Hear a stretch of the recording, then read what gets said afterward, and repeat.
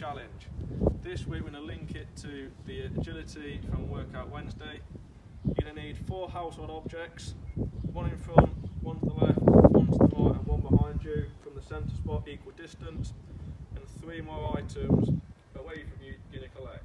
The challenge, what you're going to do is run forwards, touch the item, run backwards to the middle, side step to the left, touch, back to the middle, run back, item, back to the middle, to the right, into the middle, run, fetch one of your items, bring it back to the middle. You repeat that three times until all the items are back in the middle. See how long it takes you to collect three items and if you can do it quicker than your family. Don't forget to share your attempts on Twitter and Facebook. Come back tomorrow for Tumble Tuesday with Lucy. Uh, there's also a little challenge for myself, Alex and Matthew that you can also try, but don't forget, stay home, stay active.